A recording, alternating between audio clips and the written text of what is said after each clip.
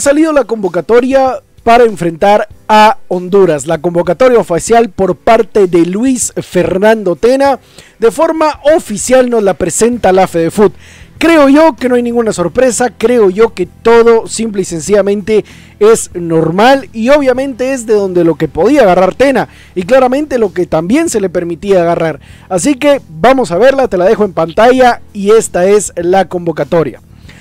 Oscar Castellanos de la Antigua, Ardón, Oscar Alexander Santis Kayaks, que regresa Oscar Santis, Carlos Mejía, Marlon Renato Sequén, Pedrito Altán, José Alfredo Morales, Alejandro Galindo, Ricardo Antonio Jerez Figueroa, el único legionario, Antonio de Jesús López, Esteban García, que creo que le llenó el ojo a Atenas sin duda alguna, Freddy Pérez, Steven Adán Robles Ruiz, Jorge Eduardo Aparicio, José Carlos Pinto, Gerardo Gordillo, Rodrigo Sarabia, Darwin Gregorio Long Moscoso y Kevin Emanuel Ruiz García. Vuelve Kevin Ruiz, vuelve el Pelón Robles, vuelve Oscar Santis Kayaks. Y yo digo vuelve ¿por qué?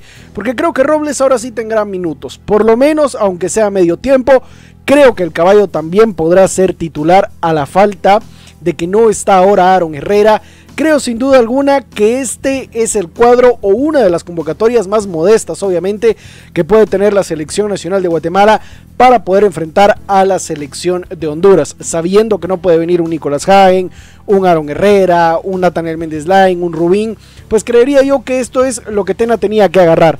No creo que hay sorpresas, tampoco creo que hayan injusticias por algún lado. Sin duda alguna hay jugadores que creo que se han merecido el llamado, pero creo que esta es una convocatoria sensata. Sin más, no creo que le falte sal, pero tampoco creo que le sobre. Es decir, simple y sencillamente es una convocatoria sensata y creo que era lo más lógico que podía optar Luis Fernando Tena.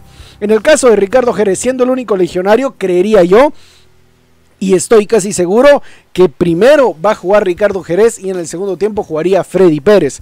Sabiendo que lleva dos porteros, no creo que todos estos jugadores tengan minutos porque tendría que cambiar absolutamente todo el 11 en el segundo tiempo, pero por lo menos creería yo que la mayoría sí puede tener minutos, probar cómo es Tardón otra vez, el caballo Morales si merece o no merece ir a Nations League, el Pelón Robles, el regreso de Oscar Santis que puede que sea de las cosas que mayor morbo genere ahora tener a un Oscar Santis de nuevo en una convocatoria de nuevo jugando con Tena, de nuevo haciendo que este ataque pueda ser un poco quizá diferente, un poco con picardía, podríamos decirlo así.